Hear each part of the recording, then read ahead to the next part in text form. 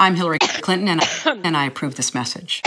The Supreme Court is wrong on the Second Amendment. I'm not looking to take people's guns away. This question involves WikiLeaks' release of purported excerpts of Secretary Clinton's paid speeches, which she has refused to release, and one line in particular in which you, Secretary Clinton, purportedly say you need both a public and private position on certain issues.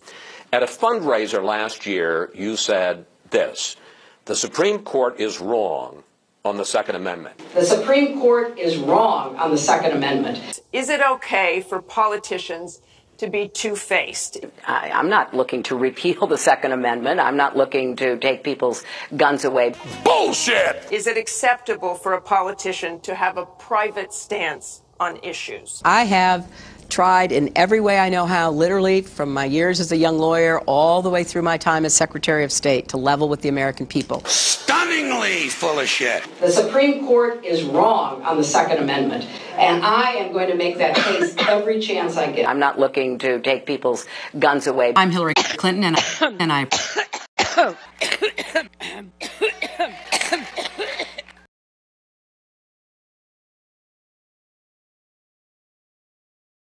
We will keep this promise to the American people.